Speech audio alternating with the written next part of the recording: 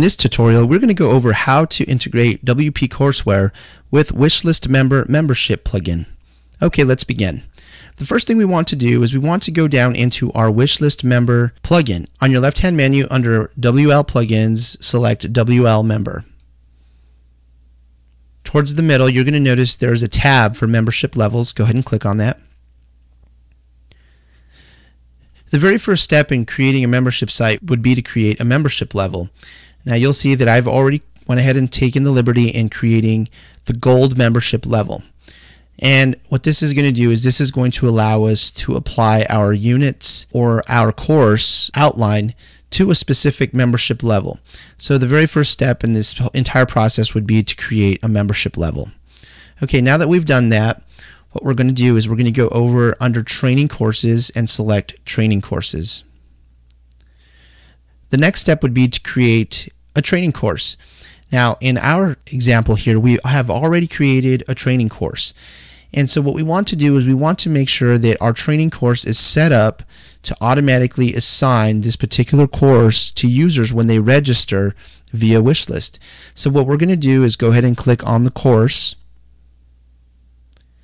and we're going to scroll down under user access and we're going to see that there are two options automatic and manual if this is going to be your only course on this particular website we highly recommend that you select automatic this will automatically enroll each person that registers through wishlist on your WordPress site and will automatically enroll them into this particular course.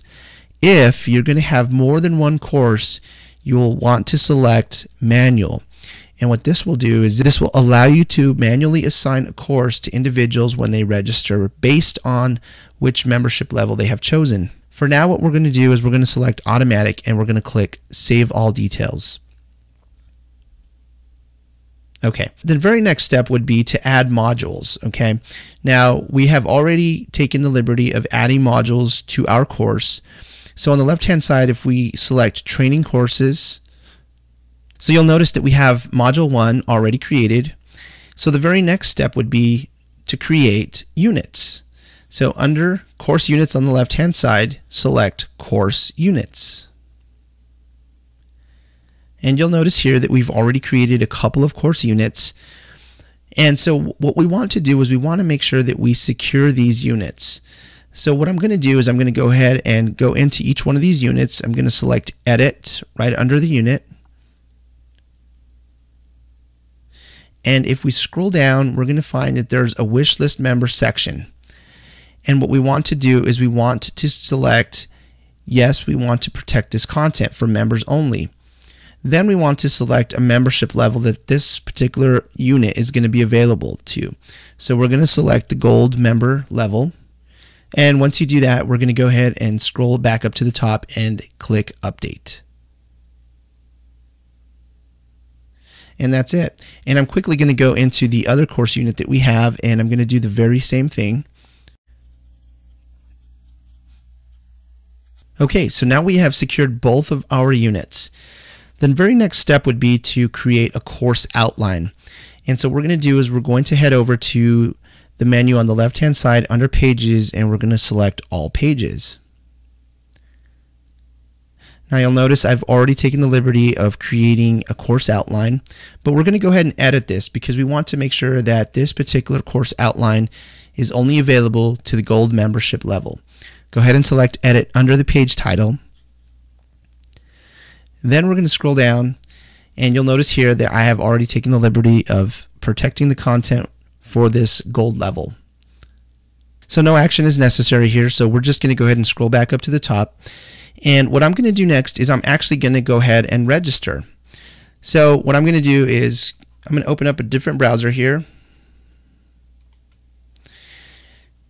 And I'm going to go ahead and plug in my registration URL.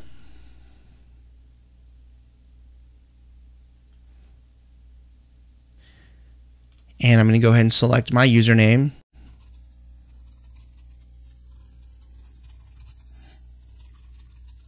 and I'm going to go ahead and submit my registration.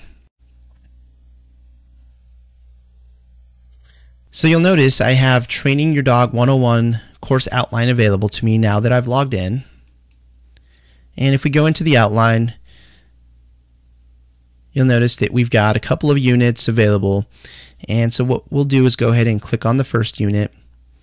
And once we're in the unit, obviously there would be some content here. And once we read through the content, or if there was, say, a tutorial video here, uh, and once we've watched that, then we would click Mark as completed. So now what we're going to do is head back over to our admin side. And then we're going to go down on the left hand side under users and we're going to select all users.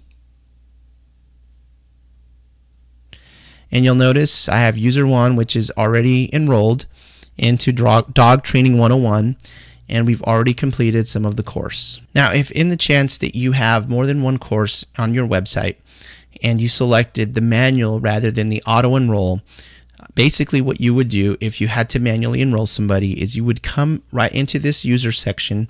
You would find the user that subscribed to your wishlist membership site and also you would have to figure out which level they selected which would be assigned to a particular course.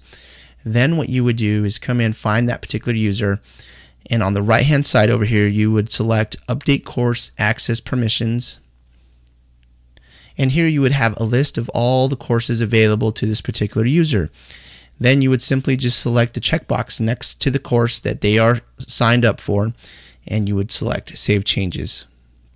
And that concludes this tutorial on integrating WP Courseware with Wishlist Member membership plugin. Thank you for watching.